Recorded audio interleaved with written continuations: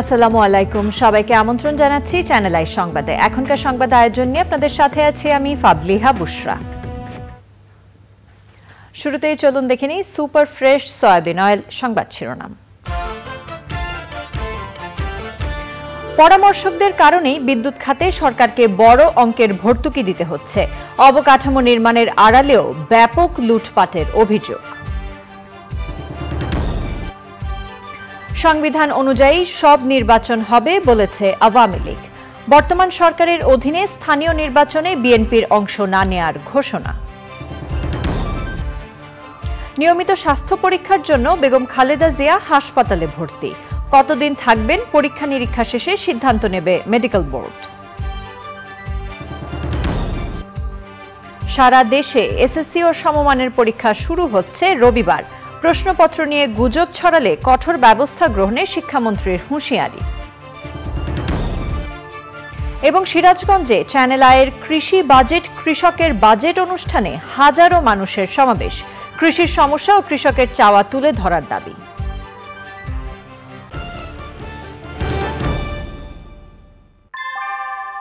উহ, গরমে দাপাদাপি। ঘরের চালের স্থায়ী সমাধান আরও আর সিমেন্ট শিট।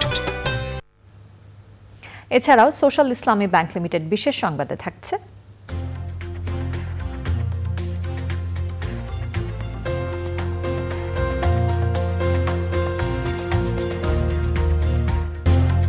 যুক্তরাষ্ট্রে এক কিশোরের বুদ্ধিমত্তায় সহপাঠীদের জীবন রক্ষার খবর।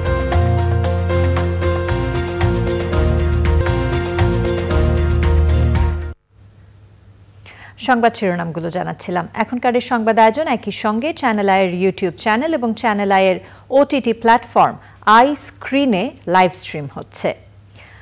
ফুলিয়ে ফাপিয়ে, বেশি বেশি চাহিদা দেখানো দেশি বিদেশি পরামর্শকদের কারণে প্রতি বছর বিদ্যুৎ খাতে সরকারকে বিশাল ভর্তুকি দিতে হচ্ছে। আর সেই ভর্তুকির টাকা জোগাড়ে দফায় দফায় দাম বাড়াতে হচ্ছে। নবায়নযোগ্য জ্বালানি বিষয়ে এক সম্মেলনে আওয়ামী লীগ এবং জাসদের চারজন সংসদ সদস্য বিষয়টি প্রধানমন্ত্রীর দৃষ্টি আকর্ষণ করেছেন। তারা মনে করছেন, বাড়তি চাহিদা দেখিয়ে বড় অবকাঠামো নির্মাণের আড়ালে একটি দুষ্ট চক্র প্রধানমন্ত্রীকে ভুল বুঝিয়ে ফায়দা হাসিল করে যাচ্ছে। রিপোর্ট। বঙ্গবন্ধু সামরিক জাদুঘরে ক্লাইমেট পার্লামেন্টের উদ্যোগে বাংলাদেশ এনার্জি প্রসপারিটি দু হাজার সমাপনী অধিবেশন। তিন দিনের সম্মেলনে আটটি সেশনে দুশো তিয়াত্তর জন পেশাজীবী এতে অংশ নেন। নবায়নযোগ্য জ্বালানি নিয়ে দর্শক শ্রোতাদের ঋদ্ধ করেছেন তেতাল্লিশ জন গবেষক এবং বিশেষজ্ঞ। দু হাজার ত্রিশ সালের মধ্যে নবায়নযোগ্য জ্বালানি থেকে ৩০ শতাংশ বিদ্যুৎ উৎপাদনের লক্ষ্যমাত্রা পূরণ নিয়ে সংশয় প্রকাশ করেন মঞ্চে উপস্থিত আইন প্রণেতারা। আমাদের যেরকম অ্যাম্বিশিয়াস টার্গেট সেটা কিন্তু অ্যাচিভ করা সম্ভব নয়। শুধুমাত্র সরকারের পক্ষে একাও সম্ভব না। এটা একেবারে মানে সকলে মিলে এই কাজটি ত্বরান্বিত করতে হবে। বিদ্যুতের সর্বোচ্চ চাহিদা আঠারো হাজার মেগাওয়াট আর সর্বোচ্চ উৎপাদন সক্ষমতা ছাব্বিশ হাজার পাঁচশো পঞ্চাশ মেগাওয়াট। চাহিদা এবং উৎপাদন সক্ষমতার ফারাক এত বেশি কেন? প্রশ্নটি তুলেছেন সংসদ সদস্যরা। যে কোনো উপায়ে বিদ্যুৎ উৎপাদন করবে সেই জন্য আমরা এই ভর্তুকিগুলো দিলাম।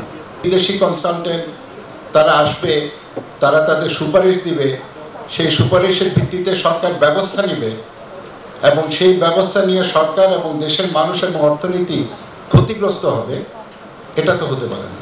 এই বাড়তি চাহিদা কেন দেখানো হলো? বাড়তি অবকাঠামো তৈরি করার জন্য, বাড়তি ব্যবসা করার জন্য। আর খারাপভাবে বললে হয় যে বেশি টাকা প্রকল্পে খরচ করলে একটু ঘুষ হয় পার্সেন্টেজ কম হয়। তাই না? তো বাসি বাড়তি দুর্নীতি করার জন্য।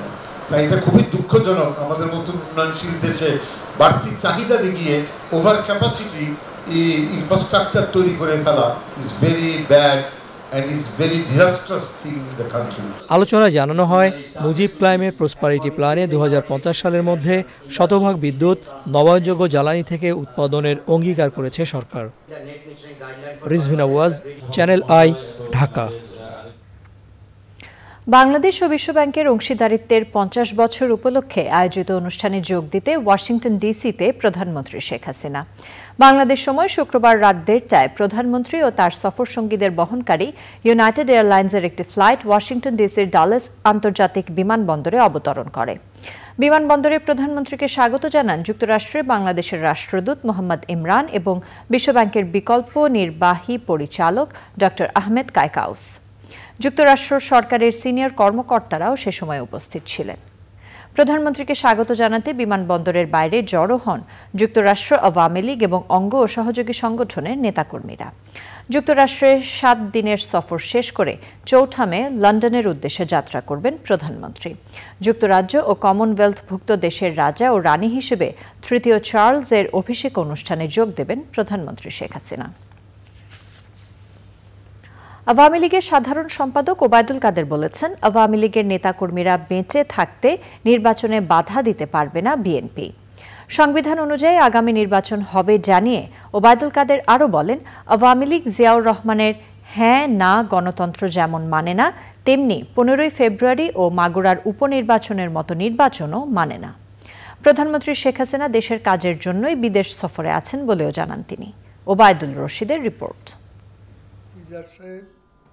প্রধানমন্ত্রীর তথ্য ও প্রযুক্তি বিষয়ক উপদেষ্টা সজীব ওয়াজেদ জয়ের সদস্যপদ নবায়নের মধ্য দিয়ে আওয়ামী লীগের সদস্য সংগ্রহ ও নবায়ন কার্যক্রমের উদ্বোধন হয় বঙ্গবন্ধু এভিনিউয়ে আওয়ামী লীগের কেন্দ্রীয় কার্যালয়ে। সে সময় সদস্যপদ নবায়ন করেন আওয়ামী লীগের সাধারণ সম্পাদক ওবায়দুল কাদের, তথ্য ও সম্প্রচার মন্ত্রী ড হাসান মাহমুদ, রেল মন্ত্রী নুরুল ইসলাম সুজন সহ অন্যরা। উদ্বোধনী অনুষ্ঠানের আগে প্রধান অতিথি আওয়ামী লীগ সাধারণ সম্পাদক ওবায়দুল কাদের বলেন, তত্ত্বাবধায়ক সরকার ইস্যুটি মৃত, তাই এ নিয়ে যারা কথা বলে, তারা দেশে অস্থিতিশীল পরিবেশ সৃষ্টি করতে চায়। আমাদের নির্বাচন করার জন্য আমাদের একটা সংবিধান আছে। আমরা তো অন্য কোনো দেশের নির্বাচন অভ্যন্তরীণ গণতন্ত্রে হস্তক্ষেপ করি না। তাহলে অন্যরা কেন আমাদের অভ্যন্তরীণ গণতন্ত্রে হস্তক্ষেপ করবে। নির্বাচন করতে দেবেন না।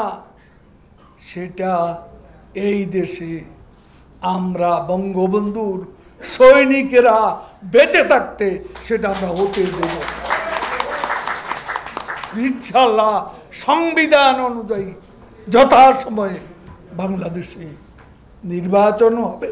বিএনপি মহাসচিবের বক্তব্যের জবাব দেন আওয়ামী লীগ সাধারণ সম্পাদক। জিয়াউর রহমানের হানা ভোটের গণতন্ত্র, কারফিউ গণতন্ত্র, আমরা সেই গণতন্ত্রে বিশ্বাস করি না। নির্বাচন, পনেরোই ফেব্রুয়ারি নির্বাচন, এ প্রহসনমূলক নির্বাচনে আমরা বিশ্বাস করি না। শেখ হাসিনা জাপান গেছেন, ওয়াশিংটন গেছেন নিজের জন্য ন, দেশের জন্য বিএনপির মতো দেশ বিক্রি করে আমরা কোনো সাহায্য নিচ্ছি না। আমরা সাহায্য নিচ্ছি আমাদের সামর্থ্যের ভিত্তির উপর দাঁড়িয়ে। ওবায়দুল কাদের বলেন, বিএনপি সন্ত্রাস জঙ্গিবাদের পৃষ্ঠপোষক। সামনের দিনগুলোতে বিএনপি যেন সন্ত্রাসী কর্মকাণ্ড ও অগ্নিসংযোগ না করতে পারে, সেজন্য নেতাকর্মীদের সজাগ থাকতে বলেন Obaidul Quader. Obaidul Rashid, Channel I Dhaka. BNP মহাসচিব মির্জা ফখরুল ইসলাম আলমগীর বলেছেন এই সরকারের অধীনে সুষ্ঠু নির্বাচন সম্ভব নয় তাই স্থানীয় সরকারের কোনো নির্বাচনে বিএনপি অংশ নেবে না। তিনি বলেন দুর্বার আন্দোলনের মাধ্যমে দেশে গণতান্ত্রিক ব্যবস্থা প্রতিষ্ঠা করবে জনগণ। আক্তার হোসেনের রিপোর্ট। আন্দোলনের নতুন কর্মসূচি নিয়ে আবারও রাজপথে সরব হচ্ছে বিএনপি। এমন আলোচনার মধ্যেই ঈদের পর প্রথম উন্মুক্ত কর্মসূচিতে অংশ নিলেন দলের মহাসচিব মির্জা ফখরুল ইসলাম আলমগীর। জাতীয়তাবাদী স্বেচ্ছাসেবক দলের নতুন কমিটির নেতাদের নিয়ে দলের প্রতিষ্ঠাতা জিয়াউর রহমানের কবরে শ্রদ্ধা নিবেদন শেষে ফেসিবাদ হটানোর শপথ বাক্য পড়ান তিনি। চল্লিশ লক্ষ নেতাকর্মী যাদের নামে মিথ্যা মামলা হয়েছে এবং তারা হয়রানি হচ্ছেন, কারাগারে যাচ্ছেন, তাদের মামলা প্রত্যাহারের জন্য এবং দেশে সত্যিকার অর্থেই একটা গণতান্ত্রিক ব্যবস্থা প্রবর্তনের জন্য এই সরকারের পদত্যাগের দাবিতে, সংসদ বিরক্তির দাবিতে এবং তত্ত্বাবধায়ক সরকার প্রতিষ্ঠার দাবিতে জনগণের যে আন্দোলন শুরু করেছে, সেই আন্দোলন যেন সফল করতে পারে, আমরা বিশ্বাস করি। এবার জনগণ তাদের আন্দোলনের মধ্য দিয়ে, দুর্বার আন্দোলনের মধ্য দিয়ে এদেরকে পরাজিত করবে। এবং সত্যিকার অর্থেই একটা গণতান্ত্রিক ব্যবস্থা প্রতিষ্ঠা করবে। আওয়ামী লীগ নির্বাচন ও গণতন্ত্রে বিশ্বাস করে না মন্তব্য করে বিএনপি মহাসচিব বলেন। এই সরকারের অধীনে কোনো নির্বাচনেই যাবে না বিএনপি। জনগণ বোঝে মানুষ বোঝে গোটা বিশ্ব বোঝে যে এই সরকার থাকলে কোনোদিনই কোনো সুষ্ঠু অবাধ নির্বাচন হবে না। আমরা পরিষ্কার বলে দিয়েছি যেখানে মেয়র নির্বাচনই বলেন বা কমিশন নির্বাচন বলেন এখানে আমাদের দলের কোনো অংশগ্রহণ থাকবে না। মির্জা ফখরুল অভিযোগ করেন দলের চেয়ারপারসন বেগম খালেদা জিয়া গুরুতর অসুস্থ। তাকে বিদেশে নিয়ে উন্নত চিকিৎসা করানোর সুযোগ দেওয়া হচ্ছে না। Akhtar Hossain, Channel I, Dhaka. স্বাস্থ্য পরীক্ষার জন্য রাজধানীর এভার কেয়ার হাসপাতালে ভর্তি হয়েছেন বিএনপি চেয়ারপারসন বেগম খালেদা জিয়া। তার ব্যক্তিগত চিকিৎসক A Z M Zahid Hossain জানিয়েছেন মেডিকেল বোর্ডের পরামর্শক্রমে শনিবার কিছু পরীক্ষা হয়েছে। আগামী কয়েকদিন আরও কিছু পরীক্ষা নিরীক্ষার পর তিনি কতদিন হাসপাতালে থাকবেন এ বিষয়ে সিদ্ধান্ত নেবে মেডিকেল বোর্ড রাহুল রায়ের রিপোর্ট গুলশানের বাসভবন ফিরোজা থেকে বিকেল সাড়ে পাঁচটার দিকে রাজধানীর এবার কেয়ার হাসপাতালের দিকে রওনা হন সাবেক প্রধানমন্ত্রী ও বিএনপি চেয়ারপারসন বেগম খালেদা জিয়া। সন্ধ্যা সাতটার দিকে হাসপাতালে পৌঁছানোর পর বেশ কিছু পরীক্ষা নিরীক্ষা করানো হয়। রাতে বেগম জিয়ার চিকিৎসক A Z M Zahid Hossain সাংবাদিকদের জানান, আরও কিছু পরীক্ষা করানো হবে। কিছু পরীক্ষা করা হয়েছে। করার পরে মেডিকেল বোর্ডের সিদ্ধান্তক্রমে ওনাকে এখন হসপিটালে ভর্তি করা হয়েছে এবং মেডিকেল বোর্ডের তত্ত্বাবধানেই ওনার আরও কিছু পরীক্ষা নিরীক্ষা যেগুলো বাসায় করা সম্ভব না। সেই সমস্ত বিষয়গুলো সকল পরীক্ষা আগামী কয়েকদিনের মধ্যে ইনশাল্লাহ হয়ে যাবে। পরীক্ষার পরবর্তীতে মেডিকেল বোর্ড সকল রিপোর্টগুলি পর্যালোচনা করে ওনার সার্বিক অবস্থার উপর ভিত্তি করে চিকিৎসা দিবেন। আবারও বিদেশে চিকিৎসার প্রয়োজনের কথা বলেন তিনি। কিডনির জটিলতা আছে ওনার হার্টের জটিলতা ছিল এবং সর্বোপরি লিভার জটিলতার জন্য বিদেশে যাওয়ার জন্য এই হসপিটাল এবং মেডিকেল বোর্ড পরামর্শ দিয়েছিল। এই গত আড়াই বছর যাবৎ এটি বারে বারে বলা হয়েছে পরিবারের পক্ষ থেকে বলা হয়েছে চিকিৎসকদের পক্ষ থেকে বলা হয়েছে মেডিকেল বোর্ডের পক্ষ থেকে বলা হয়েছে। এবার কেয়ার হসপিটালও যখন আপনাদেরকে ফর্মালি ম্যাডামকে ডিসচার্জ করে তখনও কিন্তু তারা একই রিকমেন্ডেশন করেছিল multi disciplinary advance centre chronic liver ডিজিজের পরবর্তী চিকিৎসার জন্য তারা রেফার করে। দুর্নীতির দায়ে সাজাপ্রাপ্ত বেগম খালেদা জিয়া এর আগে কয়েকবার রাজধানীর এভার কেয়ার হাসপাতালে ভর্তি হয়ে চিকিৎসা নিয়েছেন। কয়েক দফা জামিনের মেয়াদ বাড়িয়ে গুলশানের বাসভবনেই থাকছেন তিনি। গত সাতাশ ফেব্রুয়ারি সর্বশেষ স্বাস্থ্য পরীক্ষার জন্য হাসপাতালে গিয়েছিলেন বেগম খালেদা জিয়া। রাহুল রায় চ্যানেল আই ঢাকা সুষ্ঠু নির্বাচন ছাড়া সুস্থ রাজনৈতিক পরিবেশ ফিরিয়ে আনা সম্ভব নয়, উল্লেখ করে সরকারকেই এই উদ্যোগ নিতে হবে বলে মন্তব্য করেছেন জাতীয় পার্টির চেয়ারম্যান ও বিরোধী দলীয় উপনেতা জি এম কাদের। দলটির বনানী কার্যালয়ে জাতীয় পার্টি ঢাকা মহানগর উত্তর আয়োজিত ঈদ পুনর্মিলনী অনুষ্ঠানে এই মন্তব্য করেছেন তিনি। জাতীয় নির্বাচনে তিনশো আসনে প্রার্থী দেওয়ার ঘোষণা দিয়ে নেতাকর্মীদের এখন থেকে নির্বাচনের প্রস্তুতি নেয়ার নির্দেশ দিয়েছেন জি এম কাদের। গত নির্বাচনগুলোতে প্রশাসন ক্ষমতাসীন সরকারি দলের পক্ষে কাজ করেছে। অভিযোগ করে আওয়ামী আগামী সিটি নির্বাচনে নির্বাচন কমিশন, আইন শৃঙ্খলা বাহিনী সহ প্রশাসন যেন নিরপেক্ষ ভূমিকা পালন করে, সে বিষয়েও সরকারকে জোরালো পদক্ষেপ নেওয়ার দাবি জানিয়েছে জাতীয় পার্টি।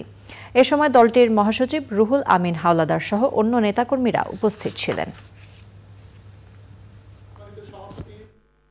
গ্রহণযোগ্য নির্বাচন না হলে সামনের দিকে রাজনীতি কখনোই স্থিতিশীল হতে পারে না।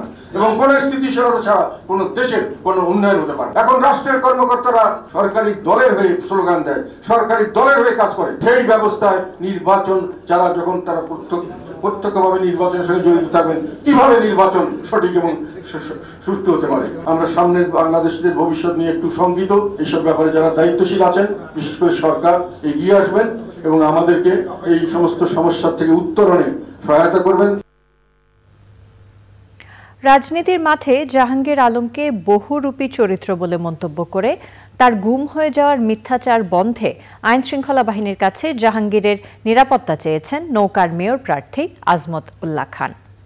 স্বতন্ত্র মেয়র প্রার্থী জাহাঙ্গীর আলম বলেছেন, রক্ষক যখন ভক্ষক হয়ে গেছে বলেই গুম আতঙ্কে জনগণের কাছে নিরাপত্তা চেয়েছেন তিনি। নৌকার প্রার্থীকে আওয়ামী লীগ ধ্বংসের খন্দকার মোশতাক বলে মন্তব্য করেছেন জাহাঙ্গীর। সময় ইসলামের রিপোর্ট। ভোটের মাঠে লড়াই হয় এক দলের সাথে অন্য দলের। তবে রাজনৈতিক বিরোধিতায় গাজীপুর আওয়ামী লীগের গৃহদাহে এবার সাংঘর্ষিক অবস্থায় জাহাঙ্গীর আলম ও আজমতুল্লাহ খান। দশ বছর আগেও এ দুজন মুখোমুখি ছিলেন। তবে এবার মুখ দেখাদেখিটাও বন্ধ। আজমতুল্লাহ বলছেন, আওয়ামী লীগের আদর্শ এবং নেতৃত্ব মানেন না জাহাঙ্গীর। অতীতের মতো এবারও গুমের নাটক সাজিয়ে সরকারকে বিব্রত করার ষড়যন্ত্র করছে জাহাঙ্গীর আলম। আমি তাকে কোনোদিনই চাপ দিইনি, তার বক্তব্যই কিন্তু প্রমাণিত হচ্ছে। তিনি তাকে গুম করা হবে। বিএনপি এবং অন্যান্য রাজনৈতিক সংগঠনের পক্ষ থেকে মাঝে মাঝেই কিছু গুমের নাটক তৈরি করা হয়। তো এটা সহজেই বোঝা যায় যে তিনি কোনো না কোনো কর্নার থেকে উৎসাহিত হচ্ছেন সরকারের বিরুদ্ধে। আমি বাংলাদেশ সরকারের আইন প্রয়োগকারী সংস্থা। আছে আমি তাদের কাছে একটা দাবি জানাতে চাই, তাদের আমি অনুরোধ করতে চাই, সে যাতে অতীতের মতো কোনো ধরনের নাটক সাজাতে না পারে, সেই জন্য তার নিরাপত্তার ব্যবস্থা, সার্বক্ষণিক নিরাপত্তার ব্যবস্থা করার জন্য আমি দৌড় দাবি জানাচ্ছি। পিতৃতুল্য আজমতুল্লাহকে ষড়যন্ত্র এবং মিথ্যাচার বন্ধ করে ভোটের মাঠে কার জনপ্রিয়তা বেশি, সেই পরীক্ষা দেবার জন্য চ্যালেঞ্জ ছুড়ে দিয়েছেন জাহাঙ্গীর আলম। বহুরূপী চরিত্র হলে আমাকেই তো আওয়ামী লীগের সাধারণ সম্পাদক এখানে ছয় বছর দায়িত্ব পালন করেছে। মাননীয় প্রধানমন্ত্রী আমাকেই তো নৌকা দিয়েছিল। তাহলে কি মাননীয় প্রধানমন্ত্রীকে সে প্রশ্নটা করুক? তাহলে মাননীয় প্রধানমন্ত্রীকে ওই সময় ভুল করেছিল? তাহলে সে বহুরূপী না আমি বহুরূপী? উনি আমার সিনিয়র হিসেবে উনি বড় দুর্নীতিবাজ, এটা তো প্রমাণিত। আপনি নাগরিকদের কাছ থেকে সেটা মতামত দেন সেই দুর্নীতির কারণে দুই হাজার তেরো সালে তো উনি না হয়েছিল। এটা তো প্রমাণ দিয়েছে গাজীপুরের মানুষ। আমি ভোট দিয়ে দাঁড়িয়েছি আঠারো সালে। যদি আমি যদি দুর্নীতিবাজ হতাম, তাহলে আমার আঠারো সালে ভোট দিত। কঠিন সময় দাঁড়িয়ে বলছি, আওয়ামী লীগকে ক্ষতিগ্রস্ত করার জন্য দু একজন মানুষ এখানে যথেষ্ট। তার আজকে অনেক বড় চেয়ারে বসে আছে। তবে নির্বাচন কমিশন বলছে এখনও সবাই সম্ভাব্য প্রার্থী। প্রার্থিতা চূড়ান্ত হওয়ার পর কেউ নিরাপত্তা চাইলে শতভাগ নিরাপত্তা দেবে ইসি। আট তারিখে প্রত্যাহারের ডেটের পরেই আমাদের কাছে পরিপূর্ণ সে প্রার্থী প্রতিদ্বন্দ্বী প্রার্থী হিসেবে আমরা বিবেচিত করব। এরপরেও যদি একজন নাগরিক আমাদের কাছে বা একজন সম্ভাব্য প্রার্থী আবেদন করে নিরাপত্তা চেয়ে তো অবশ্যই সেটা কমিশন ভেবে দেখবে ইনশাল্লাহ। নির্বাচন ঘিরে যত নাটকীয়তাই থাকুক না কেন মেয়র পদে যোগ্য ব্যক্তিকেই পঁচিশে মে বেছে নিবে গাজীপুরবাসী সময় ইসলাম চ্যানেল আই গাজীপুর। একুশে জুন রাজশাহী সিটি কর্পোরেশনের নির্বাচন ঘিরে নানা জল্পনা কল্পনা চলছে। এরই মধ্যে আওয়ামী লীগ জাতীয় পার্টি ও ইসলামী আন্দোলন বাংলাদেশ তাদের প্রার্থী চূড়ান্ত করেছে। বিএনপি ও জামায়াত সাংগঠনিকভাবে প্রার্থী না দেওয়ার ঘোষণা দিয়েছে। রাজশাহী থেকে আবু সালে মোহাম্মদ ফাত্তার পাঠানো তথ্যে সাদিয়া ওমরের রিপোর্ট। রাজশাহী সিটি কর্পোরেশন নির্বাচনে মেয়র পদে পুনর্নির্বাচনের জন্য আওয়ামী লীগের মনোনয়ন পেয়েছেন বর্তমান মেয়র ও আওয়ামী লীগের সভাপতি মণ্ডলীর সদস্য A H M Khairuzzaman Liton. এবার তিনি রাজশাহীতে কর্মসংস্থানের জন্য কাজ করবেন বলে ঘোষণা দিয়েছেন। নির্বাচিত হওয়ার পর রাজশাহীর উন্নয়নে আরও প্রকল্প বরাদ্দ নিয়ে তিনি অসমাপ্ত কাজ শেষ করতে চান। রাজশাহী সিটি কর্পোরেশন, সেখানে মেয়র পদে নির্বাচিত হতে পারলে আমি প্রথমত যে বিষয়টিতে গুরুত্ব দেবো সেটি হলো কর্মসংস্থানের বিসিক ফেজ টু দুই নম্বর বিসিকের কাজ শেষ হয়ে গেছে, মাননীয় প্রধানমন্ত্রীর অনুমোদন এবং নির্দেশে। সেখানে শিল্প কারখানা স্থাপন করলে বেশ কিছু মানুষের কর্ম হবে। এছাড়াও আমি মনে করি যে আমাদের আই আইটি যে বঙ্গবন্ধু হাইটেক পার্ক, সেটার পরিপূর্ণ ব্যবহার করে প্রায় বিশ থেকে বিশ পঁচিশ হাজার তরুণ তরুণীর কর্মের ব্যবস্থা করা যেতে পারে। চোদ্দ দলের জাসদ ও ওয়ার্কার্স পার্টির নেতাদের দাবি প্রার্থী চূড়ান্ত করার ক্ষেত্রে শরিকদের তেমন গুরুত্ব দেওয়া হয়নি। প্রথম থেকেই তো মানে এটা মেনেই নিয়েছিলাম যে সিটি কর্পোরেশন নির্বাচনে আওয়ামী লীগের প্রার্থী দিবে। এটা আমরা স্বেচ্ছায় মেনে নিয়েছি। কিন্তু নির্বাচনী কাজে এসে যদি চোদ্দ দল সংশ্লিষ্ট না হয় তাহলে তো এটা একদলীয় নির্বাচন হলো।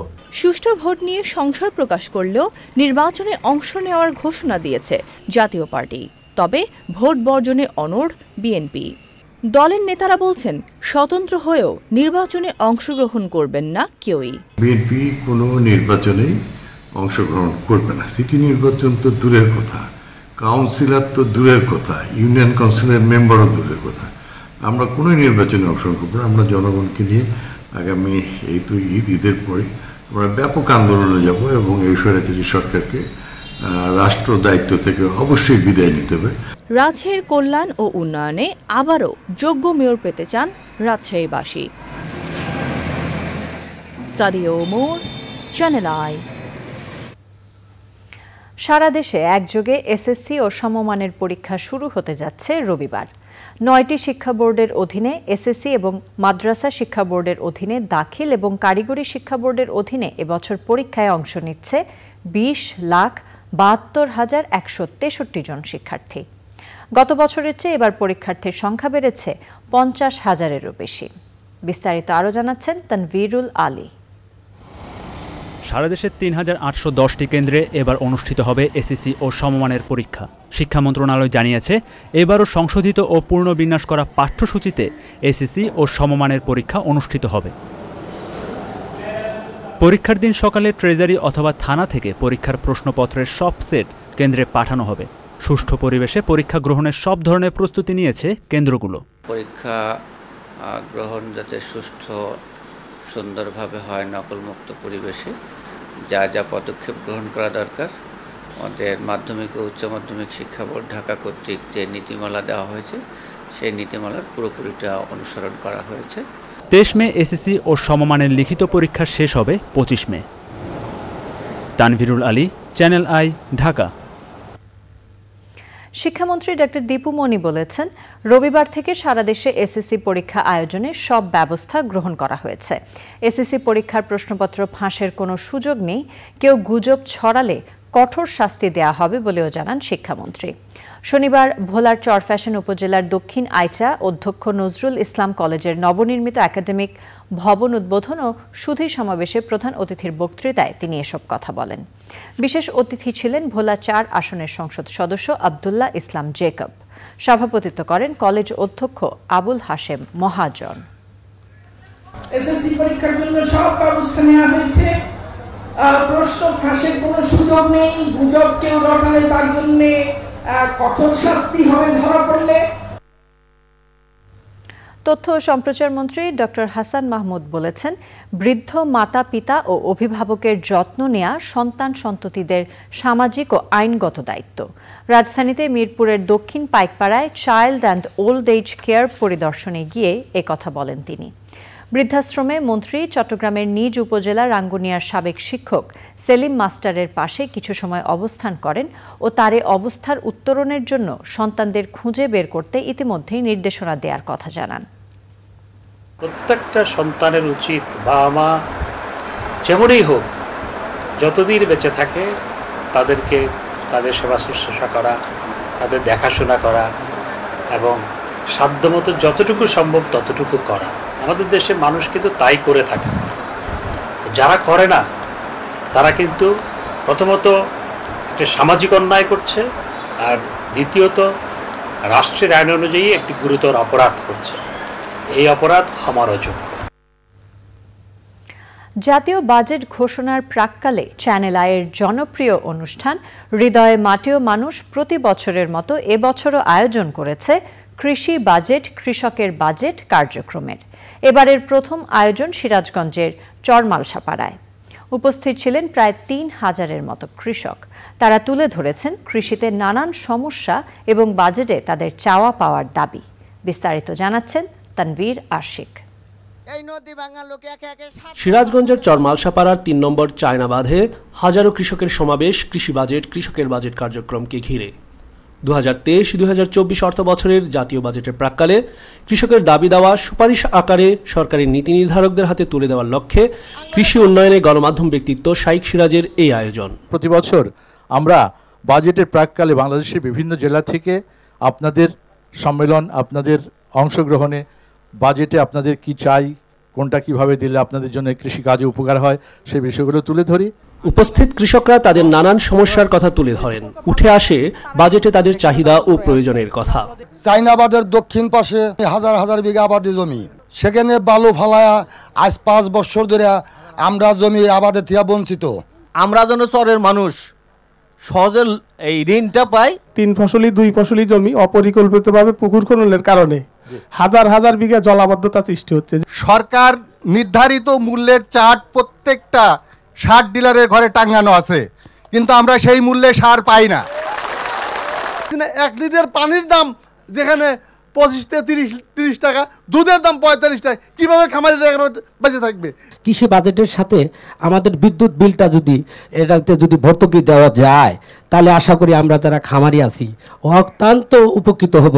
যা কর্মকর্তা আছেন তাদের আমরা দৃষ্টি আকর্ষণ করি। আমাদের এলাকায় যদি একটা মিনি মিল বিটা করা হতো তাহলে হয়তো আমরা মিল দুধটা আমরা বাজারজাত করতে পারতাম বা আমরাও সাফল্য হতাম কৃষকদের পাশাপাশি উপস্থিত ছিলেন স্থানীয় সংসদ সদস্য অধ্যাপক ডাক্তার হামিদে মিল্লাত সহ সরকারের উচ্চ পর্যায়ের বিভিন্ন কর্মকর্তা।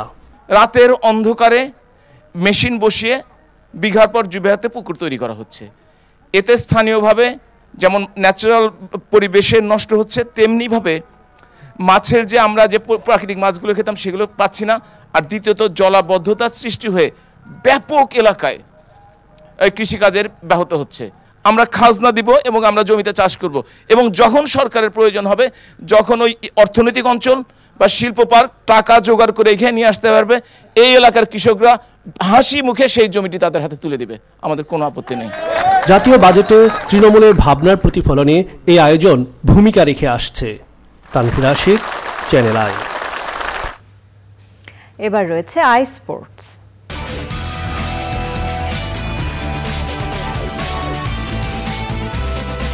বীর মুক্তিযোদ্ধা আব্দুল হামিদ খানের মরণোত্তর রাষ্ট্রীয় সম্মান প্রদর্শনে নারী ইউএনও আসলে। এতে বাধা দেন Bangabir Kader Siddiqui. Sakhipur PM pilot model government school and college মাঠে জানাজার নামাজের আগে রাষ্ট্রীয় মর্যাদা প্রদর্শনের সময় এই ঘটনা ঘটে। রাষ্ট্রীয় সম্মান প্রদর্শনে নারী ইউএনও এলে তাকে চলে গিয়ে একজন পুরুষ কর্মকর্তাকে গার্ড অফ অনার দিতে বলেন তিনি। পরে কাদের সিদ্দিকের অনুপস্থিতিতে জেলা প্রশাসকের নির্দেশে নারী ইউএনওর নেতৃত্বেই ওই বীর মুক্তিযোদ্ধার রাষ্ট্রীয় সম্মান প্রদর্শন ও দাফন অনুষ্ঠিত হয়। জানাজা নামাজের আগে সংক্ষিপ্ত বক্তৃতায় কাদের সিদ্দিকি বলেন, কোনো মহিলার গার্ড অফ অনার দেয়ার সুযোগ নেই। দেশের অনেক উত্থান পতনের কারণে দেশের স্বাধীনতা অর্থবহ হয় নাই। মুক্তিযোদ্ধারাও যথাযথ সম্মান পায় নাই। স্বাধীনতার শত্রুরাও যতখানি দাপটে চলাফেরা করে, যারা জীবন দিয়ে স্বাধীনতা এনেছে, তারা অনেকেই ততটা করতে পারে না। সংবাদের এই পর্যায়ে সময় হয়ে গেল একটি বিরতি নেবার। বিরতির পর জানিয়ে ফিরব। থাকার জন্য ধন্যবাদ সবাইকে। কৃষি যন্ত্র তৈরির অন্যতম প্রতিষ্ঠান জাপানের ইয়ানমার কারখানা পরিদর্শন ও প্রতিষ্ঠানটির শীর্ষস্থানীয় কর্মকর্তাদের সাথে মতবিনিময় করেছেন জাপান সফররত কৃষিমন্ত্রী ডক্টর মোহাম্মদ আব্দুর রাজ্জাক। সেখানে তিনি কম্বাইন হারভেস্টার ট্র্যাক্টর ট্রান্সপ্লান্টার সহ বিভিন্ন কৃষি যন্ত্র তৈরির কার্যক্রম ঘুরে দেখেন। আম, পেঁপে, স্ট্রবেরি প্রভৃতি ফলের গবেষণার বায়ো ল্যাব কার্যক্রমও পরিদর্শন করেন তিনি। সে সময় ইয়ানমাকে বাংলাদেশে বিনিয়োগের আহ্বান জানান মন্ত্রী। বাংলাদেশে স্মার্ট কৃষি ব্যবস্থা গড়ে তুলতে ইয়ানমারের স্মার্ট কৃষি প্রযুক্তি দিয়ে সহযোগিতার বিষয়েও উদ্যোগ নেওয়া হবে, জানায় ইয়ানমার কর্তৃপক্ষ। নিটোল টাটা, আন্তর্জাতিক সংবাদ।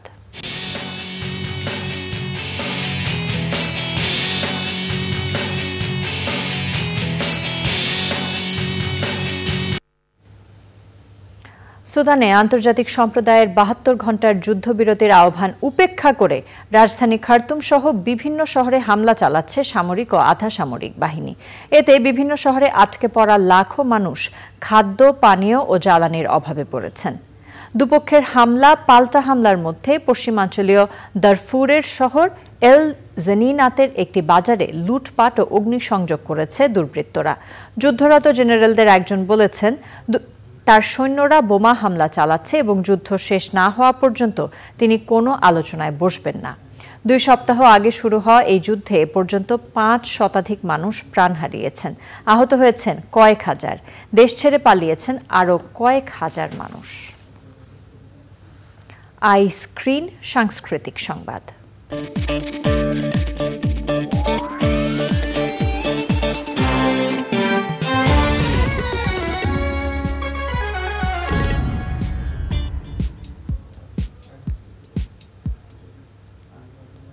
প্রথমবারের মতো ওয়ার্ল্ড রেকর্ড স্টোর ডে উদযাপন করেছে বাংলাদেশ। রাজধানীর দ্য ডেইলি স্টার আর্ট গ্যালারিতে দিনভর প্রদর্শনীর মাধ্যমে এই আয়োজন করেছে রেকর্ড স্টোর ডে উদযাপন কমিটি। এ ধরনের আয়োজনের মাধ্যমে হারিয়ে যেতে বসা বিভিন্ন এলপি রেকর্ডের প্রতি তরুণ প্রজন্মের আগ্রহ তৈরি হবে বলে মনে করছেন আয়োজকরা।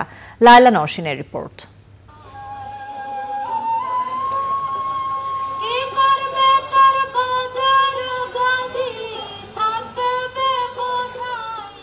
গ্রামোফোন প্লেয়ারে এলপি ডিস্কে পুরনো দিনের বাংলা গানের মূর্ছনায় শোভা পাচ্ছে ক্লাসিক বিভিন্ন রেকর্ড।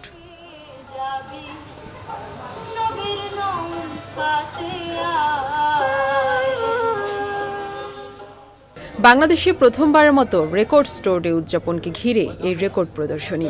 কালের পরিক্রমায় হারিয়ে যেতে বসা বিভিন্ন রেকর্ড স্টোর বাঁচাতে এবং তরুণ প্রজন্মের কাছে রেকর্ডকে তুলে ধরতে দু হাজার সাত সালে যুক্তরাষ্ট্রে প্রথম উদযাপন হয় রেকর্ড স্টোর ডে। এরপর থেকে দু হাজার বাইশ সাল পর্যন্ত সেদেশে সিডি কেটিংয়ে রেকর্ড বিক্রি দাঁড়ায় একচল্লিশ মিলিয়ন কপি। রেকর্ড প্রদর্শনীতে স্থান পেয়েছে কালজয়ী বিভিন্ন এলপি রেকর্ড। শতবর্ষের পুরনো রেকর্ডের পাশাপাশি স্থান পেয়েছে হেমন্ত মুখোপাধ্যায়, ভূপেন হাজারিকা, লতা মঙ্গেশকর, জর্জ হ্যারিসন ও রুনা লায়লা সহ সারা বিশ্বের কালজয়ী শিল্পীদের রেকর্ড। উদ্বোধনী অনুষ্ঠানে সঙ্গীতের সত্যিকারের রস উপভোগের জন্য রেকর্ডের বিশেষত্বের কথা বলেন বিশিষ্টজনেরা। একটা এলপি রেকর্ডের শব্দের যে গভীরতা, যে গাম্ভীর্য, যে ডিটেইলস এইটা কিন্তু মোটেই ইন্টারনেটে পাওয়া যায় না, যাবে না। সঙ্গীতের অবিমিশ্র আনন্দের সন্ধান যারা করেন, তাদেরকে অবশ্যই গ্রামোফোন রেকর্ড বা ভাইনাল রেকর্ডের কাছে দ্বারস্থ হতে হবে।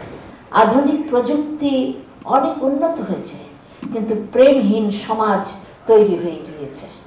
সংগীত কিন্তু ঐশ্বরিক, সকলকে দান করেন না। পরোক্ষভাবে দেখে যে আমাকে সেভাবে গ্রহণ করেছে কিনা, ভালোবেসে গ্রহণ করেছে কিনা, যদি না করেন, তাহলে কিছুদিন থাকার পরে সে কিন্তু সরে যায়। রেকর্ডের খোঁজে, রেকর্ডের সংগ্রহের কারণে সিঙ্গাপুর বা নিউ ইয়র্ক বা প্যারিসে, এমনকি বার্সেলোনাতেও রেকর্ড দেখানো যাওয়ার সুযোগ হয়েছে এবং রেকর্ড সংগ্রহ করেছে। সে সময় ঢাকার সিনেমা, গান, অন্যান্য বিষয় এখন হচ্ছে কি খারাপ ছিল? অনেক সময় মনে হয় তখনকার অবস্থা পরিবেশ হয়তো আরও ভালো ছিল। আগামীতেও এই ধরনের আয়োজন অব্যাহত রাখার কথা জানান আয়োজকরা। যখন পরবর্তী প্রজন্মের জন্য আমরা কিছু রাখতে চাই তখন আমাদেরকে আসলে রেকর্ড কিংবা সিডির দিকে যাওয়া ছাড়া কোনো উপায় নাই। আজকের এই উদ্যোগ অত্যন্ত একটি প্রশংসনীয় উদ্যোগ এবং আমি ব্যক্তিগতভাবে এবং ডেলি স্টার থেকে যতটুকু সাহায্য করতে পারি আমি সেটা করব। আয়োজনটি উৎসর্গ করা হয় কিংবদন্তি নজরুল সংগীত শিল্পী ফিরোজা বেগমকে। Lala Nousheen Channel I Dhaka. Social Islami bank limited, বিশেষ সংবাদ।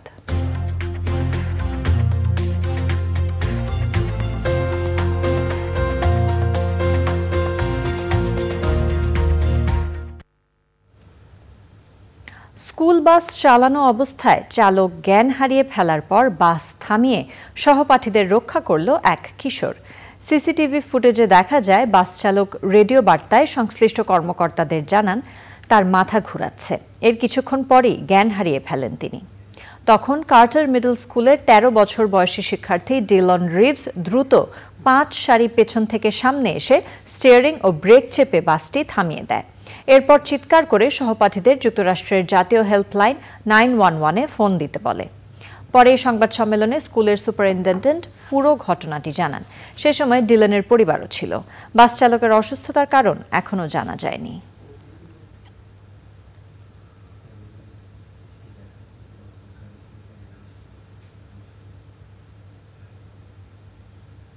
Indie cafe global silk city সংবাদ।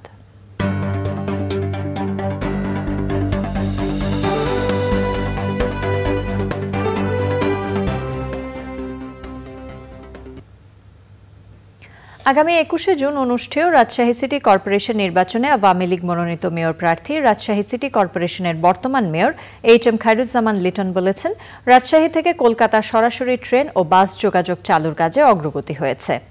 আর ভারতের মুর্শিদাবাদের ধুলিয়ান থেকে রাজশাহী ও আরিচা হয়ে ঢাকা পর্যন্ত নৌরুট চালুর বিষয়ে কাজ চলছে। রাজশাহী কলেজ অডিটোরিয়ামে চাঁপাইনবাবগঞ্জ জেলা সমিতি, রাজশাহী আয়োজিত ঈদ, পুনর্মিলনী ও মতবিনিময় সভায় প্রধান অতিথির বক্তব্যে তিনি এসব কথা বলেন।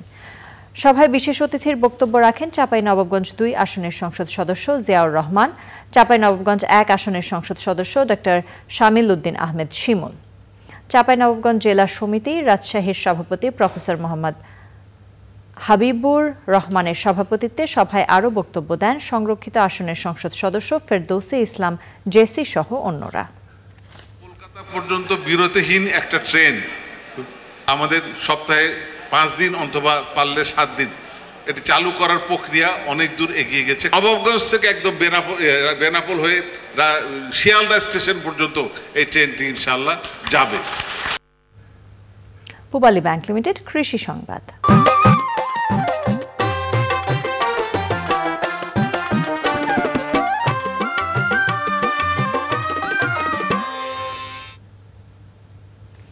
মৌমাছি চাষ করে সফল ও স্বাবলম্বী হয়েছেন চাপাই নবাবগঞ্জের চাষি মোহাম্মদ মনিরুল ইসলাম।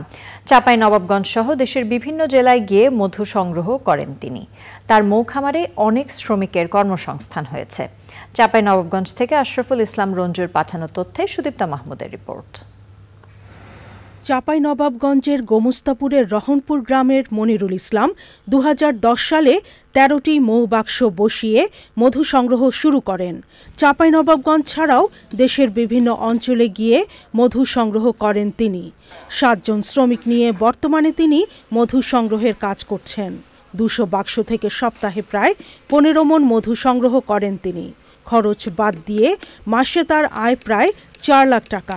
বেকার যুবকরা যদি এটাকে এগিয়ে আসে অবশ্যই পাশাপাশি কর্মসংস্থানের একটা ব্যবস্থা হবে এবং বেকার দূর হবে বেকার তো দূর হবে। মনিরুল ইসলামের খামারে উৎপাদন করা সরিষা কালোজিরা লিচু ও কাঠতিলের মধু সংগ্রহ করে দেশের বিভিন্ন অঞ্চলে নিয়ে বিক্রি করেন ব্যবসায়ীরা। এক মন মধু দশ হাজার টাকায় কিনে ষোলো হাজার টাকায় বিক্রি করেন তারা। মধু চোখে দেখে আমরা নিয়ে যাই ভালো মধু। এরা কোনো ভেজাল টেজাল দেয় না। এদের মধুটাই আসল মধু আর জমা থাকে বুঝতে পারে না। সরকারিভাবে মধু সংরক্ষণ এবং মধু থেকে উৎপাদিত বিভিন্ন পণ্য বাজারজাত করার ব্যবস্থা নেওয়ার দাবি জানিয়েছেন মৌচাষী মনিরুল ইসলাম। Sudipta Mahmud Channel I. এখন দেখবেন প্রকৃতি সংবাদ।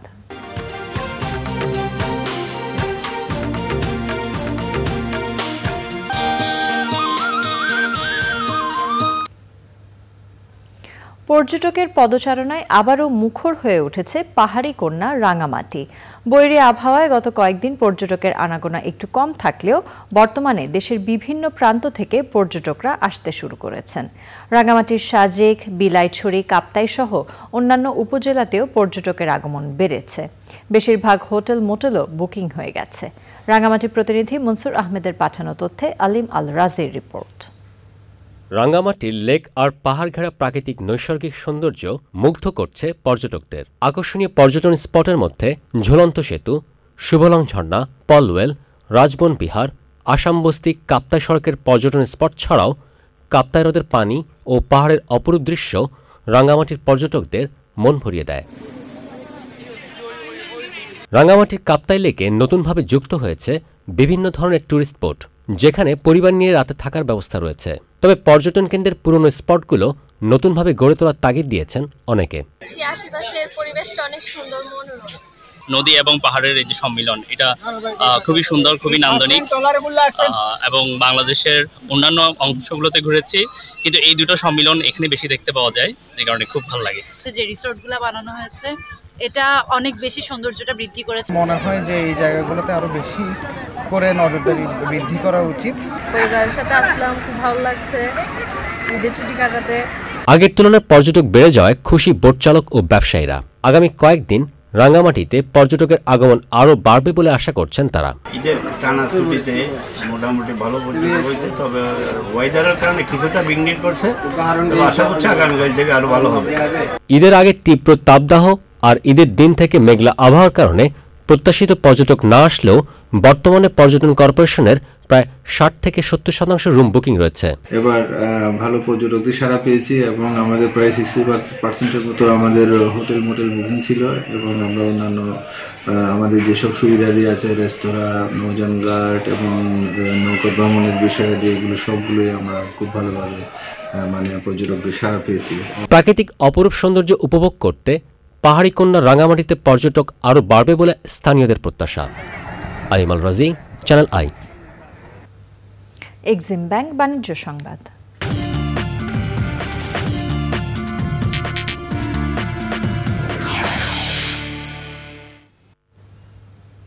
কক্সবাজারে সন্ধানী লাইফ ইন্স্যুরেন্স কোম্পানির বার্ষিক সম্মেলন হয়েছে।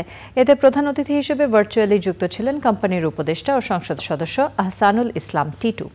উপস্থিত ছিলেন কোম্পানির chairman Mujibul Islam, vice chairman Golam Fatema Tahera Khanam সহ অন্যরা। সভাপতিত্ব করেন কোম্পানির ব্যবস্থাপনা পরিচালক নিমাই কুমার সাহা। সম্মেলনে দেশের বিভিন্ন জেলা থেকে প্রায় ছয়শো জন উন্নয়ন কর্মী ও কর্মকর্তা অংশ নেন।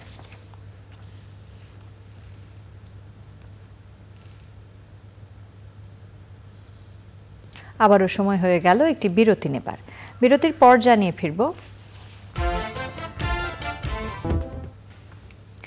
আইজিপি চৌধুরী আবদুল্লাহ আল মামুন বলেছেন, আগামী জাতীয় সংসদ নির্বাচন কেন্দ্র করে নিরাপত্তা চ্যালেঞ্জ দেখছে না পুলিশ।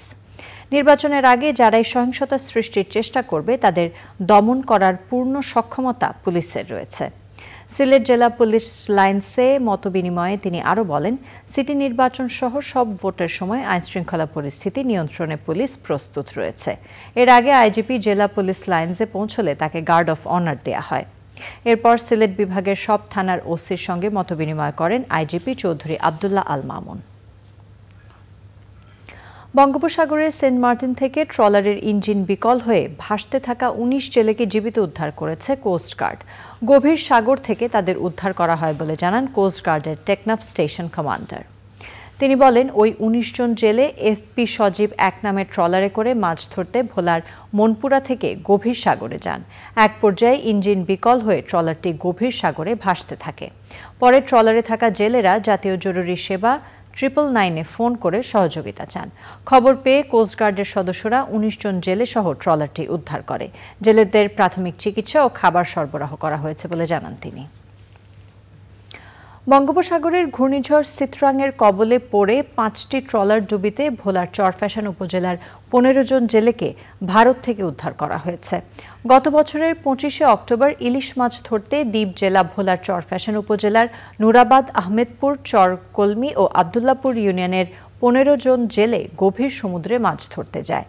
ঘূর্ণিঝড়ের কবলে পড়ার তিন দিন পর ভাসমান অবস্থায় ভারতীয় কোস্টগার্ড তাদের উদ্ধার করে। সামাজিক সংগঠন সাবেরা ফাউন্ডেশনের মাধ্যমে তাদের পুনর্বাসনের ব্যবস্থা করা হয়। এ উপলক্ষে ঢাকা রিপোর্টার্স ইউনিটিতে আয়োজিত সংবাদ সম্মেলনে সাবেক সচিব মেজবা উদ্দিন এসব তথ্য জানান। রাজধানীর বনশ্রী সোসাইটির নির্বাচন হয়েছে। রাজধানীর বনশ্রীর আইডিয়াল স্কুলে সকাল আটটা থেকে বিকেল চারটা পর্যন্ত ভোট গ্রহণ চলে। নির্বাচনে সাঁত্রিশটি পদের জন্য শাহাবুদ্দিন মতিন, বাতেন দুলাল এবং কালাম হক প্যানেল প্রতিদ্বন্দ্বিতা করে। সোসাইটির মোট ভোটার দুই হাজার ছয়শো সাতষট্টি জন। প্রধান নির্বাচন কমিশনার ছিলেন নজরুল ইসলাম সেলিম। এছাড়া এস এ ওয়াদুদ এবং মোহাম্মদ আবু তাহের নির্বাচন কমিশনারের দায়িত্ব পালন করেন। আবারও সময় হয়ে গেল একটি বিরতি নেবার। বিরতির পর খেলার খবরে জানিয়ে সবাইকে। ফিরে এলাম খেলার খবর নিয়ে।